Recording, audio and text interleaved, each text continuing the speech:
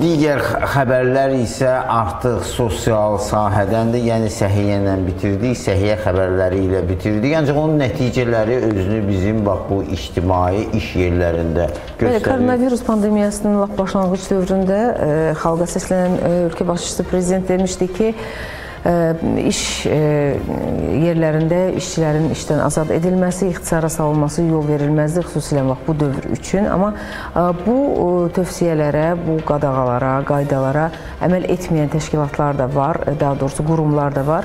Yəni bu özəl qurumlardan gedir söhbət, dövlət qurumları da ola bilər yəqin ki, hər halda. Bax bütün bunları aşkar etmək üçün Əmək və Əhalinin Sosial Müdafiəsi Nazirliyi yanında Dövlət Əmək Müfəttişliyi Xidməti bir monitorinq keçiribdir.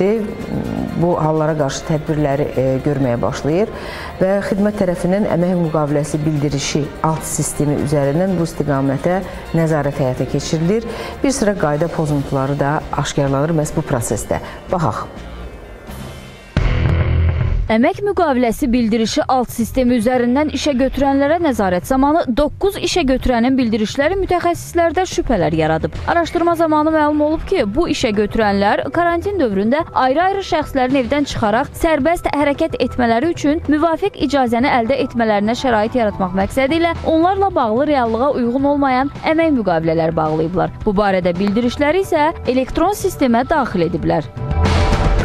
Dərhal həmin işə götürənlər barədə toplanan müvafiq məlumatlar araşdırılması və müəyyən tədbirlərin görülməsi üçün hüquq mühafizə orqanlarına təqdim edilib. Eyni zamanda ə, qeyd edim ki, ə, Dövlət Əmək Müfəttişliyi Xidməti 50-yə yaxın işə götürənə məktub yollayıb.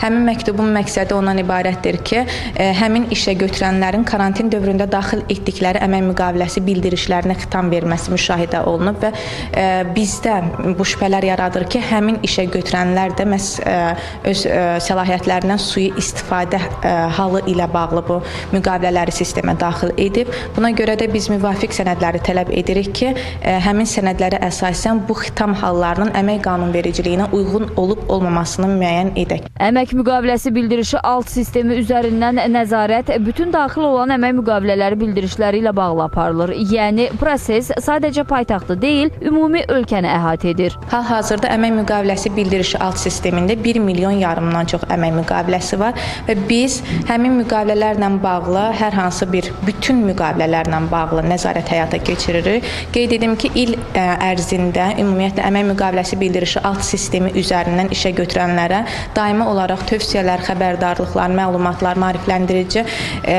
məlum xəbərlər göndərilir işə götürənlərə və ə, hal-hazırda aparılan işlərlə bağlı ki, bu nəzarət tədbirləri aparırıq, mətbuat vasitəsilə xəbərdarlıqlar veririk. Bu xəbərdarlıqlar da bildiriş sistemi vasitəsilə işə götürənlərə təxminən ə, 74 min işə götürənə bu barədə məlumat yollamışıq. Dövlət Əmək Müfəttişliyi Xidməti bu kimi halların baş verməməsi üçün bütün işə götürənlərə müraciət edərək bildirir ki, əmək müqavilələrinə əsassız xitam verilməsi halları ilə bağlı qəti tədbirlər bundan sonra da davam etdiriləcək. Odur ki, işə götürənlərə əmək qanunvericiliyinin tələblərinə, karantin rejimi qaydalarına əməl etmələri tövsiyə olunur.